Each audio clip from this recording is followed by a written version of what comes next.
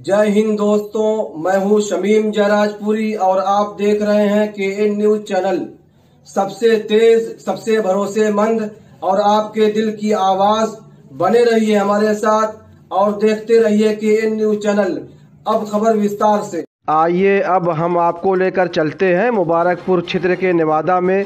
जहाँ पर समाजवादी पार्टी के प्रत्याशी अखिलेश यादव खबरों नज़र चैनल से बातचीत करते हुए कहा कि ये जो लहर दिखाई दे रही है, वो आने वाले 10 मार्च को समाजवादी पार्टी की सरकार बनाने की लहर है और ये जो नौजवानों में जोश दिखाई दे रहा है, ये जनता का सीधे सीधे भारतीय जनता पार्टी के खिलाफ बगावत है, क्योंकि भाजपा सरकार ने पाँच सालों में जनता को ठगने का काम किया है, नाम बदलने का काम किया है और समाजवादी पार्टी के कामों पर अपनी नेम प्लेट लगाने का काम किया है। इस अवसर पर अखिलेश यादव ने नेवादा में आयोजित एक जनसभा को संबोधित किया। कार्यकर्ताओं ने अखिलेश यादव का पुरजोश स्वागत किया। मुबारकपुर क्षेत्र से समाजवादी पार्टी के प्रत्याशी अखिलेश यादव ने शमीम जराजपुरी से बातचीत करते हुए क्या कहा? आइए दिखाते हैं हम आपको ये रिपोर्ट। ऐसी लहर दिखाई दे रही है यहाँ इस पर क्या कहना आपका? बहुत जोश दिखाई दे रहा है यहाँ नौजवानों में लोगों में। ये जो नौजवानों में जोश दिखाई दे रहा है यह जनता का सीधी सीधी भारतीय जनता पार्टी के खिलाफ बगावत। है इसलिए कि भाजपा सरकार ने पाँच सालों में जनता को ठगने का काम किया है, नाम बदलने का काम किया है, समाजवादी पार्टी के कामों पर अपनी नेम प्लेट नेम प्लेट लगाने का काम किया है, सारे के सारे विकास और निर्माण के काम इस सरकार में ठप हो गए।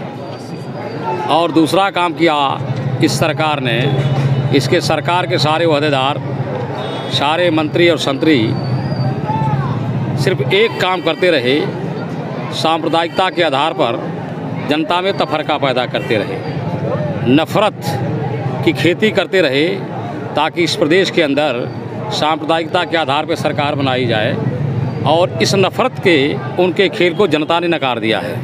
ये जो लहर दिखाई देती है, वो आने वाले 10 तारीख को समाजवादी पार्टी की सरकार बनाने की लहर है। और अखिलेश यादव जी आज देश के सबसे बड़े नेता हैं और उत्तर प्रदेश के लोगों ने एक तरह से घोषणा कर दिया है कि केवल वोट पड़ जाए गिनती हो जाए अखिलेश यादव जी मुख्यमंत्री हैं। समाजवादी पार्टी की सरकार बनने के बाद मुबारकपुर क्षेत्र में विधानसभा क्षेत्र में किन कामों पर आप ज़्यादा फोकस करेंगे तरजीह देंगे? हमसे बार बार ये सवाल करते हैं आप मुबारकपुर के विकास कार्यों पर समाजवादी पार्टी के अलावा किसी दूसरे का नाम भी है क्या? मुबारकपुर विधानसभा क्षेत्र में या मुबारकपुर में जो आप हॉस्पिटल दिखाई दे रहे हैं, वह नेताजी की सरकार में बना था। और 400 400 करोड़ रुपए से चीनी मिल समाजवादी पार्टी की सरकार की देन है। आपके बगल में 132 के का बिजली घर पावरलूम बुनकरों और बुनकरों की प्रॉब्लम को लो वोल्टेज को दूर करने के लिए समाजवादी पार्टी की सरकार में बना। आपका पंद्रह करोड़ रुपए का विपणन केंद्र समाजवादी पार्टी की सरकार में बना। मुबारकपुर के व्यापारियों को बाहर जाने और बाहर के व्यापारियों को मुबारकपुर तकाने के लिए रोडवेज़ समाजवादी पार्टी की सरकार में बना। समाजवादी पार्टी के सरकार में मुबारकपुर का जितना विकास हुआ, किसी दूसरी पार्टी की सरकार में आपको कहीं दिखाई देता है तो बार बार यह सवाल न करिए, समाजवादी पार्टी की सरकार बनेगी। राष्ट्रीय अध्यक्ष जी यहाँ से सांसद हैं और मुबारकपुर के लोगों से उनको भी अपना मोहब्बत है। यहाँ का विकास दिन दुना चौगुना होगा। जो जो यहाँ के लोग चाहेंगे सारा काम होगा बस सही तरह ही कर सकता ये किस विचारधारा की लड़ाई है? विचारधारा की लड़ाई है। भारतीय जनता पार्टी ने पाँच साल में पूरे देश के अंदर भाईचारा को ख़त्म कर दिया। हिंदू मुस्लिम सिख ईसाई आपस में सब भाई भाई ये गंगा जमुनी सभ्यता का देश है। धर्म के नाम पर बंटवारा करके भारतीय जनता पार्टी सरकार बनाना चाहती है। तो किस तरह का खेल है? सांप्रदायिकता का खेल है और समूची जनता भारतीय जनता पार्टी के खेल को समझ गई है। और आज कुछ लोगों को छोड़ करके बाकी सत्तर फ़ीसदी जनता समाजवादी पार्टी के गठबंधन के साथ खड़ी है और सरकार बनने जा रही है। अखिलेश यादव जी मुख्यमंत्री होने जा रहे हैं। क्या राष्ट्रीय जी का आगमन है क्या? हाँ। राष्ट्रीय अध्यक्ष जी। आजमगढ़ में आ रहे हैं। जब उनका कार्यक्रम आ जाएगा तो आपको समय और तारीख बता दी जाएगी।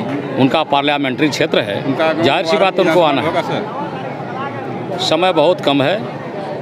पूरा प्रयास किया जाएगा कि मुबारकपुर के अगल बगल में ही कार्यक्रम लगे या मुबारकपुर में लगे इस बात की कोशिश की जाएगी।